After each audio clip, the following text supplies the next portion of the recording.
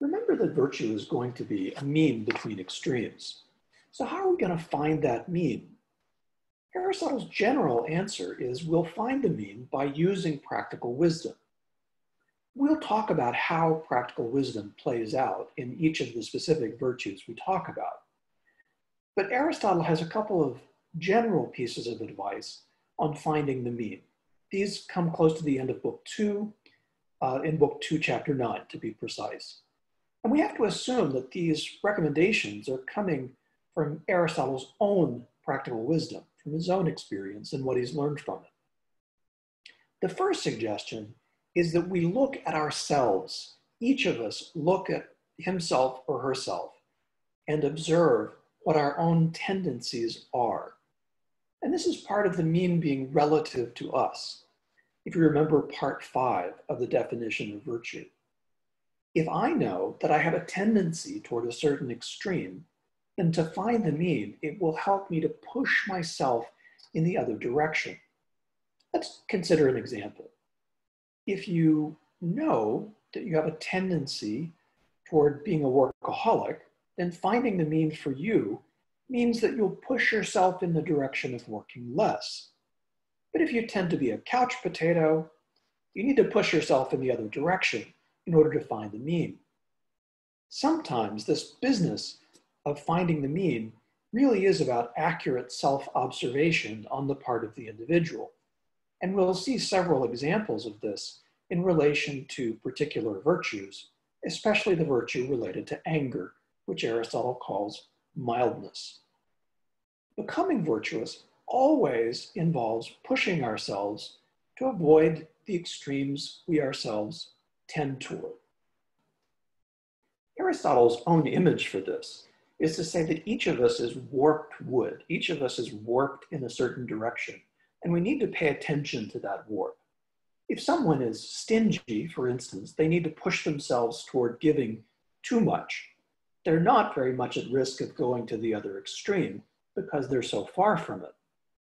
One more example, if you tend to be a perfectionist, you need to push yourself toward letting your work have a few flaws, that it would take an unjustifiably large amount of time and effort to make perfect.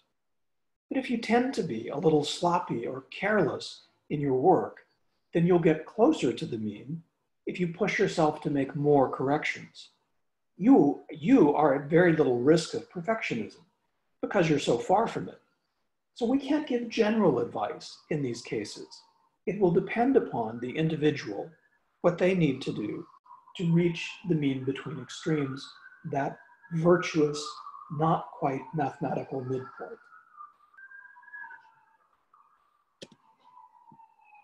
It's always going to be hard work. If something is bent in a particular direction, it takes effort to bend it back. There's one general piece of advice that Aristotle does offer us. We are all biased in favor of pleasure. So pushing ourselves to avoid pleasure will essentially always take us toward the mean between extremes. Very few people are at risk of not liking pleasure enough. All of us are at risk of being too influenced by pleasure. So going against pleasure will almost always move us in the right direction. But we do have to be careful here in the spirit of Mill's higher lower pleasure distinction. Obviously, pleasure in knowing the truth about things is not bad. We would want to cultivate a pleasure like that. So Aristotle must mean primarily physical pleasure here that we should avoid. Virtue is a state that decides, or a better translation, a habit of deciding. And Aristotle focuses now on decision or choice. Obviously, we're not going to hold someone responsible for something that they themselves did not choose. In order for us to say that an action is right or wrong, it has to be voluntary.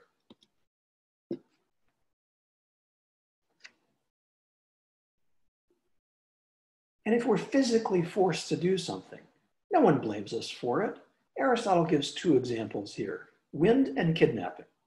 If a strong wind comes along and blows me into you and your arm gets broken. I'm not to blame, it was the wind.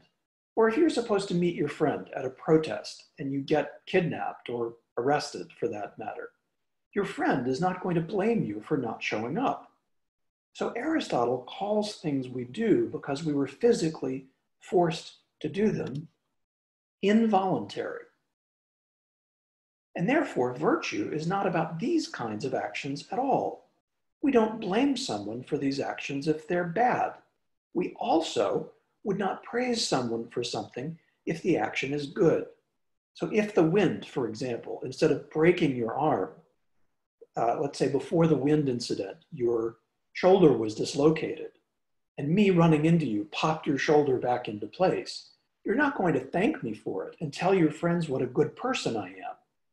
This is the sort of thing that Aristotle means by saying that such actions are not subject to praise or blame because we are not the ones who chose them. And there's a second cause for an action to be voluntary. That's ignorance. If I open a door into someone and someone else is on the other side and gets injured, I'm not blamed because I didn't know someone else was there. But there are exceptions. One exception is when I could have known and should have known. So in LMU's St. Rob's classroom, the doors have little windows in them. You can see if someone is standing right up against one of them before you open it. So if you didn't bother to look through it, we blame you for your ignorance. It's blameworthy ignorance, or what philosophers refer to as culpable ignorance, which is from mea culpa, which you say if you're a Catholic and are confessing sin. The other exception, which is classic Aristotle, if someone hurts you without meaning to, but then doesn't regret it, or is even happy that they harmed you, Aristotle says we blame them anyway, even though the action was involuntary, not because they chose the wrong thing, but because their lack of regret is a sign of bad character. There are times when we consider calling something involuntary because it's similar to a case of physical force, but it's actually psychological force that's in play. Aristotle's two examples in the passage right after the one we just looked at are a hostage situation and a ship in a storm. In the hostage situation, a tyrant, Aristotle's word for a dictator, you can think of Kim Jong un, takes your parents and your children hostage and forces you to do something shameful something like the very first episode in Netflix's Black Mirror, where the British Prime Minister is forced to have sex with a pig on live television in order to have hostage takers release a member of the royal family. I hope you appreciate the vivid example because it's going to help you remember Aristotle's point here. It seems like the prime minister was forced to have sex with the pig, but Aristotle wants to resist calling the action involuntary because the prime minister did have a choice. He could have said no and just let the hostage takers keep the princess or murder her or whatever. It would have been the wrong choice. We would have blamed him for making that choice. But he still did have options in the situation. And as embarrassing a position as the prime minister was put in, we would probably say that he did the right thing under very difficult circumstances. Aristotle's point is that we can't praise him unless we call the action voluntary in some sense. And we could not have blamed him for doing the wrong thing if he had refused and just let the princess die. Unless we say that he did have some choice in the situation, making the action to some degree voluntary. Aristotle's second example is not so vivid. Imagine someone throwing a ship's cargo overboard in the storm in order to save himself and the others with him on the ship. Aristotle barely mentions this example in passing, but I think it can be really helpful for us to explore it in some detail in order to understand what he's up to in these cases of psychological force as opposed to physical force.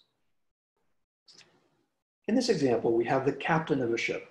She's in port A where a business person entrusts her with some valuable merchandise. The captain signs a contract to take the merchandise to point B, to port B. The captain and her crew sail away toward port B, but on the way, they run into a storm. Aristotle's example requires us to think that the captain didn't know she was sailing into a storm. It came up suddenly without warning. The waves are so high, the boat is about to sink.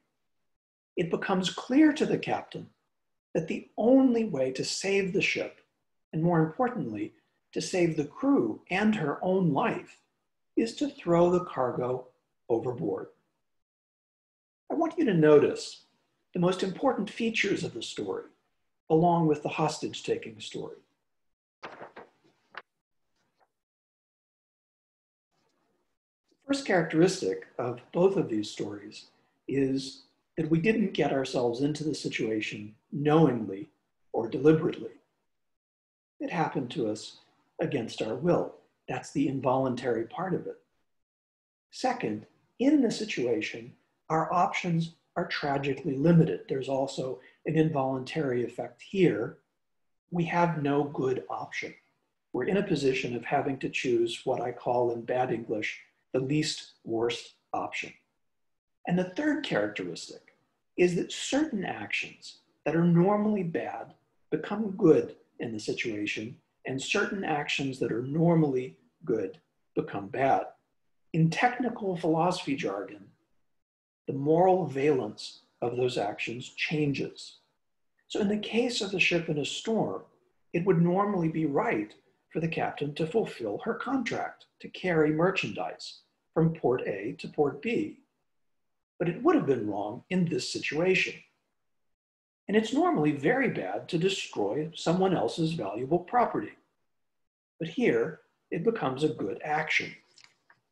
So Aristotle looks at situations like this, where the issue is psychological force, and he does not want to classify them as involuntary, because that would mean we could not praise the captain for what she did or blame her if she had done the opposite. And yet, Aristotle wants to take into account that these situations do have an aspect of involuntariness to them that puts them in a special class. He sees them as more voluntary than involuntary, although both elements are present. So he names, he classifies this sort of action voluntary in a qualified way. Some of you have chosen to write about articles where the decision maker is facing a situation where even though it doesn't involve hostages or ships or storms, it still has these three features. So what Aristotle says here could really be relevant. But more importantly, you're probably all going to face some situations like this, possibly at several points in your own life. And I think what Aristotle has to say about them can be really helpful. Some people talk about making moral compromises in situations like this. But Aristotle wants to say, no, that's not a moral compromise. A virtuous person knows what to do in a situation like this, and they do the right thing, even when someone who doesn't know the circumstances might see it as a wrong thing. For Aristotle, again, it's not any kind of compromise. It's just a virtuous choice. For the next video, it will help you to have this handout in front of you titled Aristotle's Virtues and Vices.